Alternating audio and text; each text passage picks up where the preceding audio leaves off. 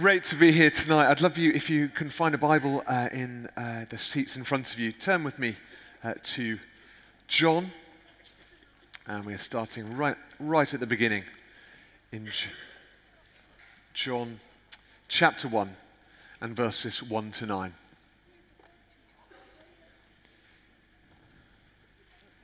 In the beginning was the Word, and the Word was with God, and the Word was God. He was with God in the beginning. Through him all things were made. Without him nothing was made that has been made. In him was life, and that life was the light of all people. The light shines in the darkness, but the darkness has not understood it. There came a man who was sent from God. His name was John. He came as a witness to testify concerning that light, so that through him all might believe. He himself was not the light, he came only as a witness to the light. The true light that gives light to everyone was coming into the world. Well, I wonder whether there was a slight lack of light in your day today. Did it seem slightly darker than normal? If it did, then there's a good reason for that. It was the shortest day of the year. Even if you got up at 8 o'clock, there was still four more minutes of darkness before the sun came up. And if you had a rather long lunch, then uh, you might have missed it because the sun went down again at 3:53 this afternoon. It was the darkest, shortest day of the year. The good news is it all gets lighter and brighter from here. But one of the interesting things it, about living in London is that does it ever really get dark in London? Have you noticed that? Have you actually tried to find a really dark place in London? A really physically dark place in London? If you go out to the countryside this Christmas time, you'll find yourself standing on a field or in a road somewhere, looking up at the sky, going, Wow, look at these incredible stars. Why did we miss out in London? What did we do wrong to miss out on all this? Well, we haven't missed out. Actually, it's all right there above us. Here is a picture of uh, Tower Bridge when there was a blackout. This is what London actually looks like. This is the sky above London. Hundreds of millions of beautiful stars that make up the Milky Way, right above our heads. Yet we just can't see them. The BBC News Agency reported half of the UK population cannot see any stars because the night sky is so saturated with light pollution.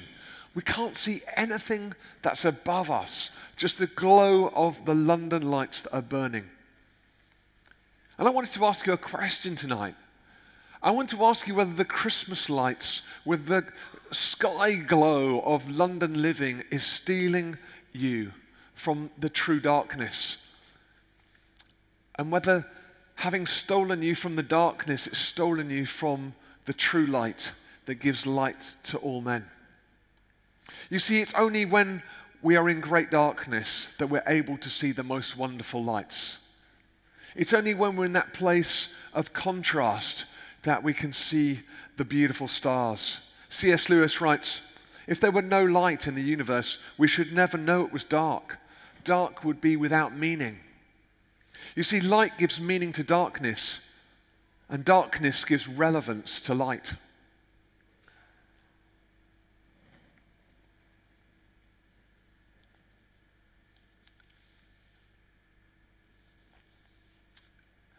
I think that if we don't find Christmas in our hearts this Christmas, we're never going to find it under the Christmas tree.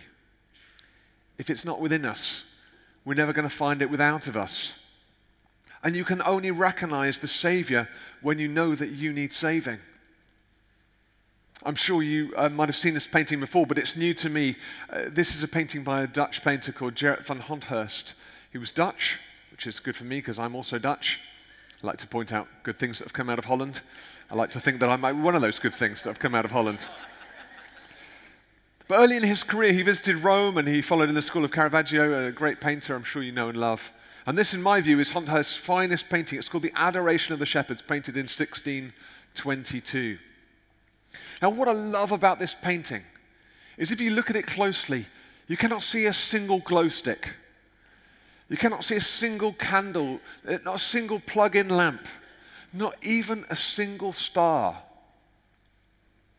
all of the light in this painting comes from the Christ child himself. Every bit of light in that picture, everything radiates from Jesus himself. The, the faces of the shepherds are illuminated by the presence of Jesus.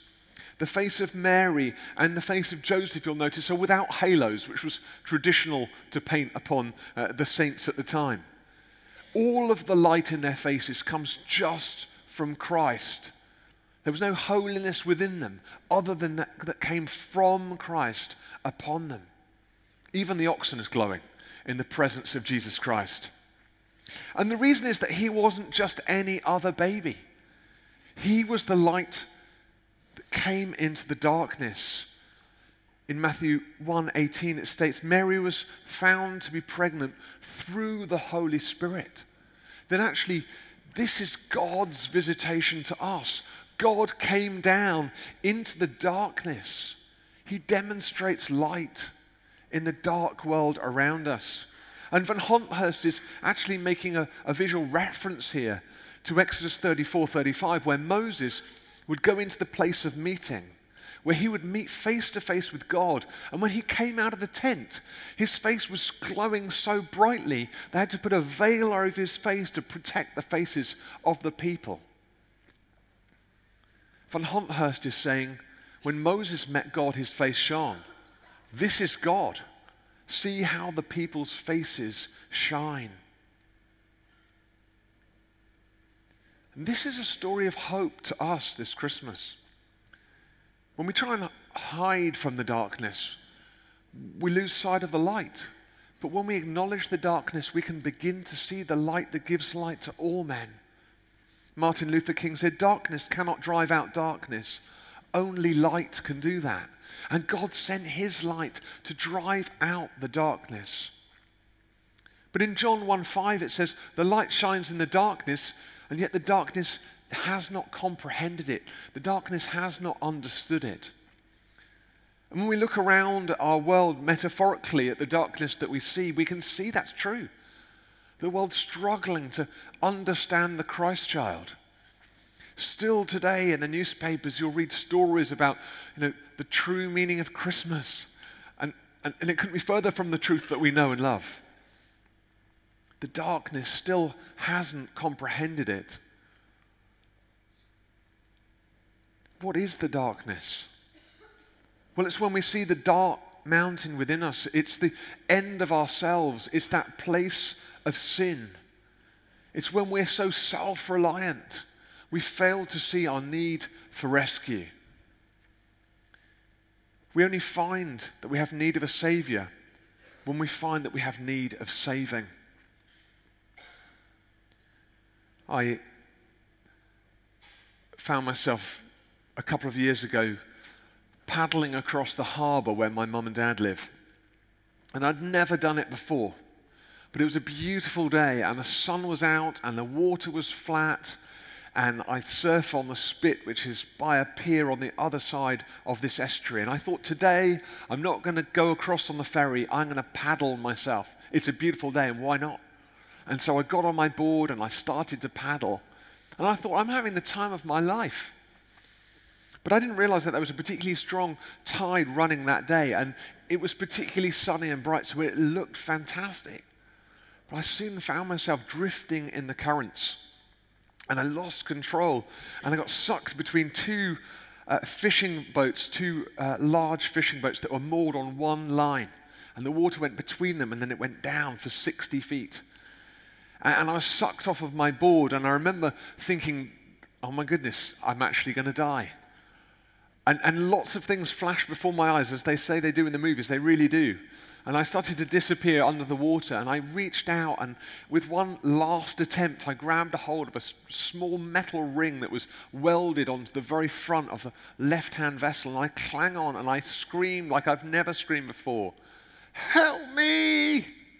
And someone had seen me disappear between these two large fishing trawlers.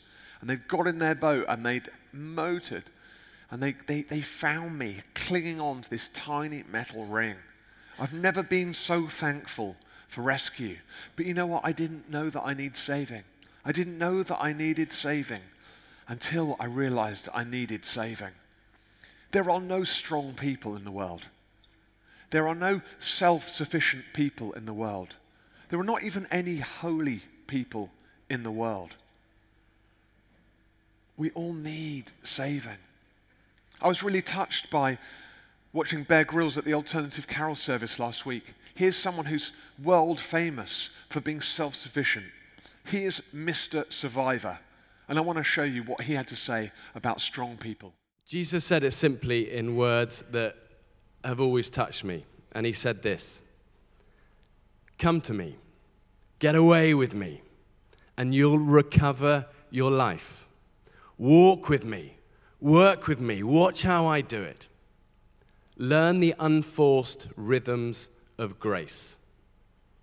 I won't lay anything heavy on you. Keep company with me, and you'll learn to live freely and lightly.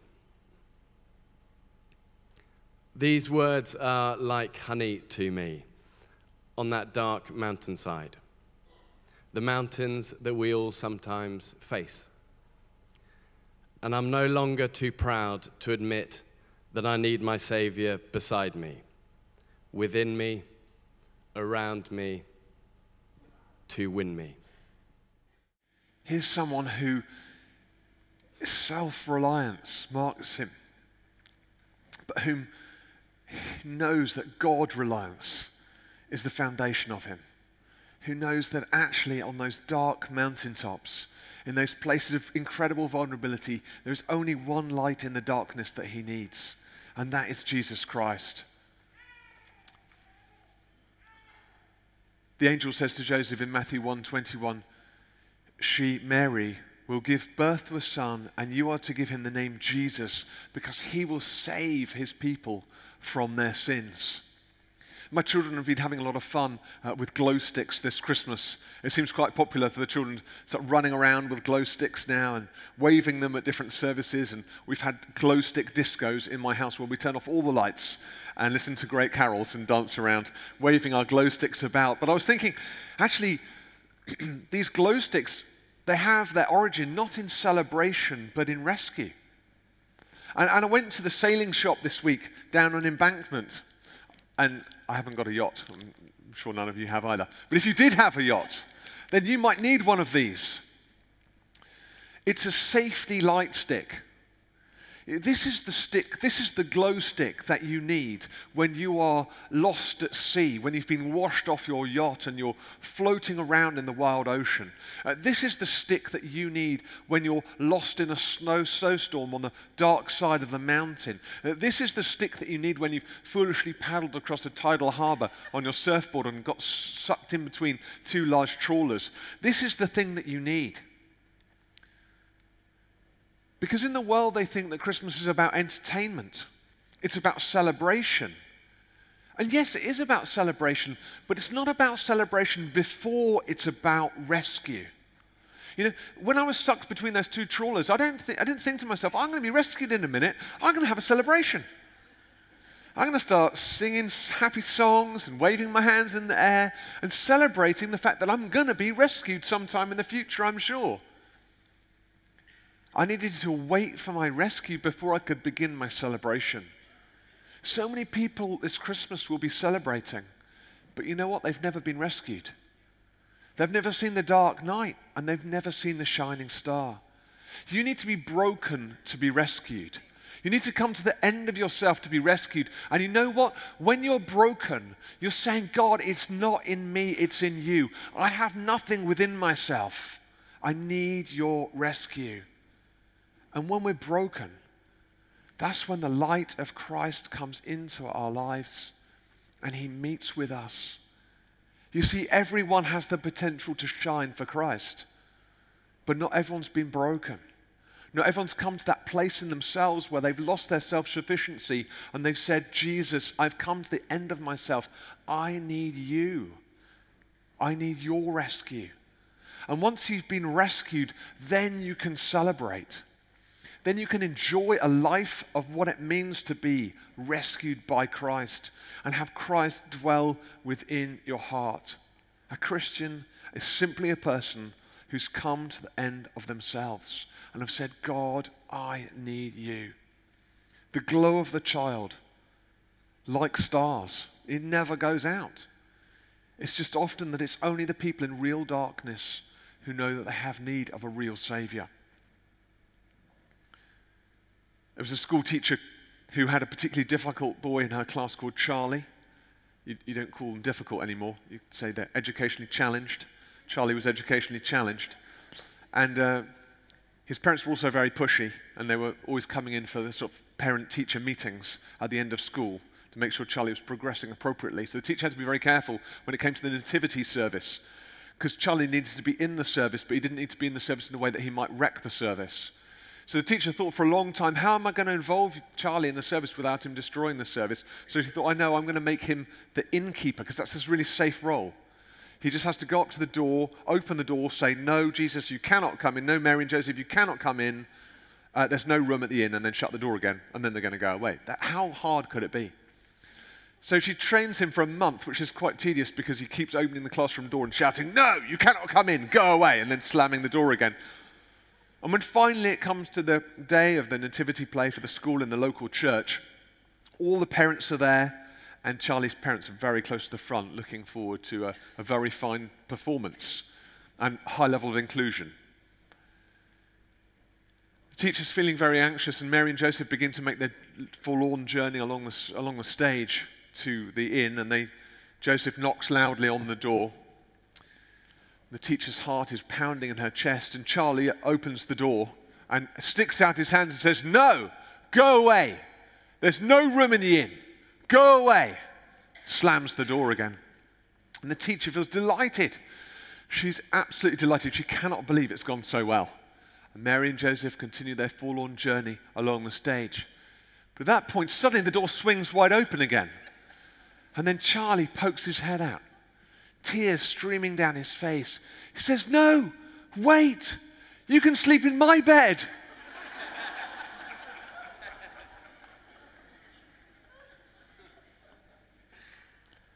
You see, Charlie was onto something, wasn't he? Charlie was onto something.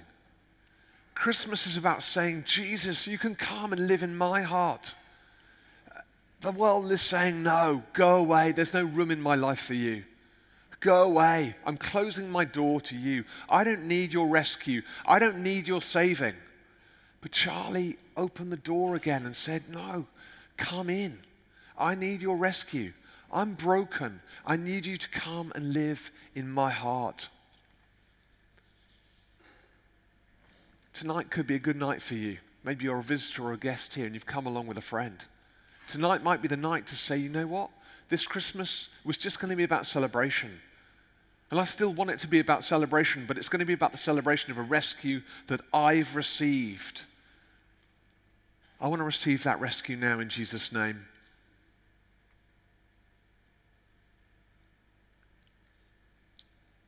Once you've received the rescue, you can join in the celebration. But you know, Jesus doesn't even just leave us there. Because once we've received the rescue and we've joined in the celebration, we're invited to the witness. You are invited to carry that same presence of the Christ child into the world this Christmas. You're invited to glow with the presence of Jesus to your family, to your friends, to your workplace, into your community. You're welcome to witness to the Savior who's rescued you. In Philippians 2:15 it says, "The children of God without fault in darkness, in which you shine like stars in the universe." You become the stars.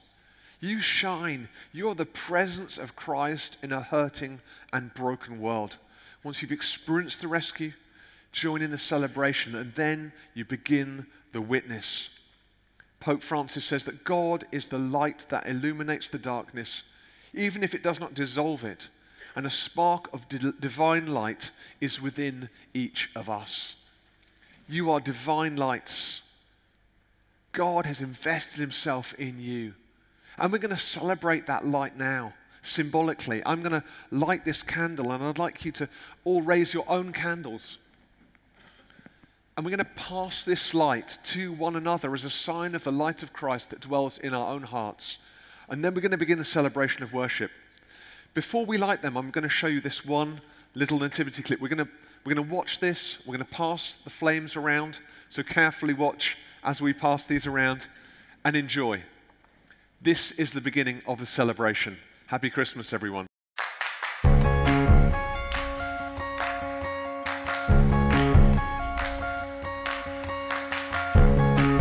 Mary was really scared when the angel came to her. There was one main angel called Gabriel. He was just a boy angel. She had wings and she was all white.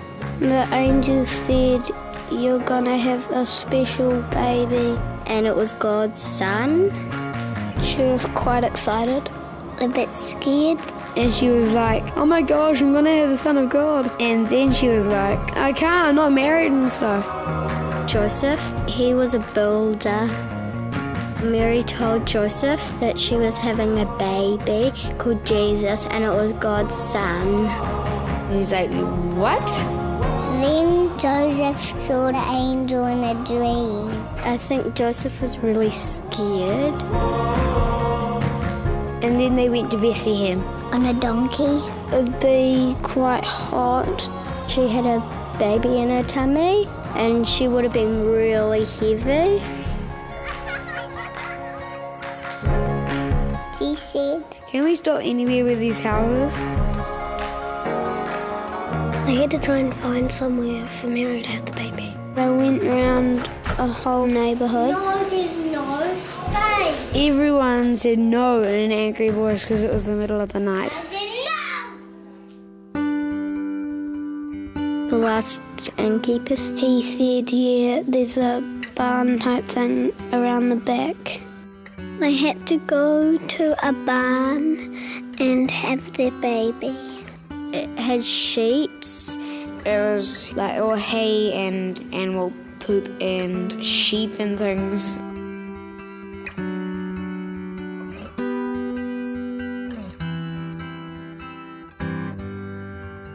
Mary put baby Jesus in one of those troughs.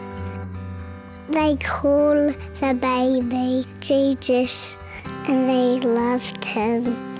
And he has two daddies, God and Joseph.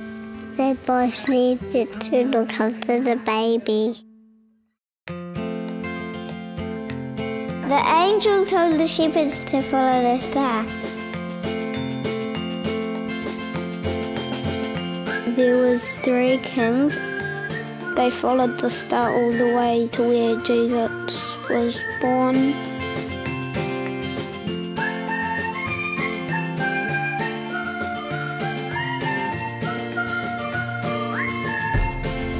When they get to this table, they give them the presents. And then they got some angels as visitors too. And then there was a giant star. Everyone was there.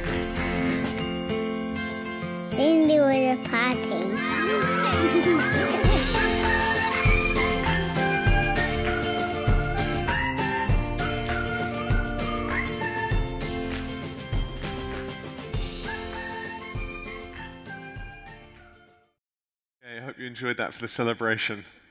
Let's um, pray now as we hold these candles carefully in front of us. Lord Jesus, we recognize the darkness around us and within us. And we recognize our need for saving. We need a Savior. And you, Lord, are the light that came into the darkness. We welcome you, Jesus, again this Christmas into our hearts. We offer you ourselves and say, We've come to the end of ourselves. We need you, God. We receive your rescue again today, the forgiveness of sins, the promise of life everlasting. And this Christmas, we want to join in the celebration because we've been rescued by you, God. And Father, we want to pray that having received the rescue and begun the celebration, you would use us for witness. We pray that each of us might shine like stars in the universe this Christmas, that we might just illuminate those around us with the presence of Jesus. Lord Jesus, by your Holy Spirit, shine through us. Use our hands and feet and voices to speak of your goodness to a broken and hurting world. Come, Holy Spirit, use us to witness to the great light that gives life to mankind. Through Jesus Christ, your Son, our Lord and Savior. Amen.